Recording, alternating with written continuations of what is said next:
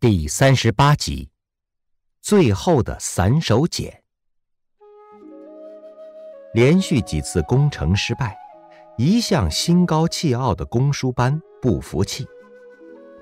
你别得意，我其实还有一个对付你的办法，不过我不说。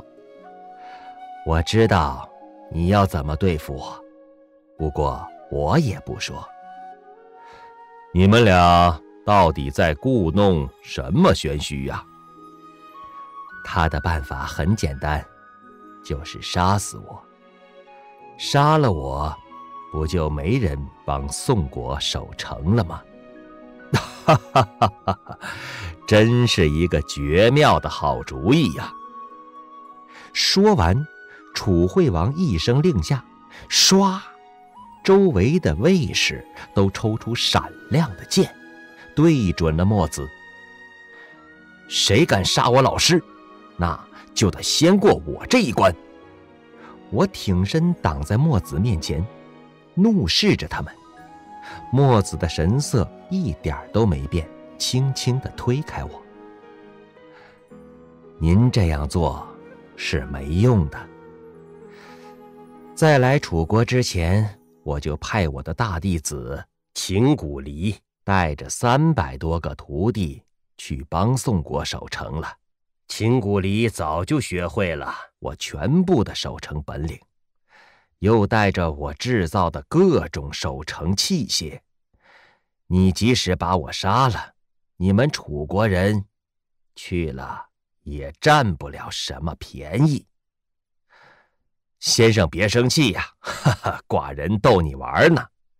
寡人已经决定不再打宋国了。正得意的笑着的楚惠王愣了，听了墨子这一席话，又亲眼见识了墨子这滴水不漏的守城本领，他明白，攻打宋国已经是没有什么希望了。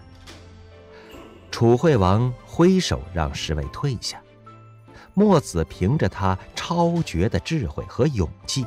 终于成功的说服楚惠王，完成了这个看似不可能完成的任务。事情并没有结束。先生是一个难得的人才，寡人实在是佩服啊！希望先生能留在楚国，当寡人的顾问。寡人愿意把方圆五百里的土地封给先生。这一刻，我对老师佩服的可真是如同这滔滔江水绵绵不绝。老师不但说服了楚惠王，还让楚惠王亲自出马，用高官厚禄来招纳他。由此可见，只要是金子，在哪儿都会发光。可墨子的理想是拯救世界。建立一个平等自由的新社会。楚国虽大，却也容纳不了他这个包容天下的理想，他委婉的拒绝了。从王宫出来后，公输班紧紧的握住墨子的手，说了一番话。与先生您相比，我实在是惭愧呀。不过我向您保证。我以后不会再制造云梯这种打仗的器械了，要把所有的精力放在造福老百姓的发明上。小贴士：被忽悠死的楚怀王。楚怀王人称被忽悠之王，他的一生就是被忽悠的一生。当时，秦楚联盟。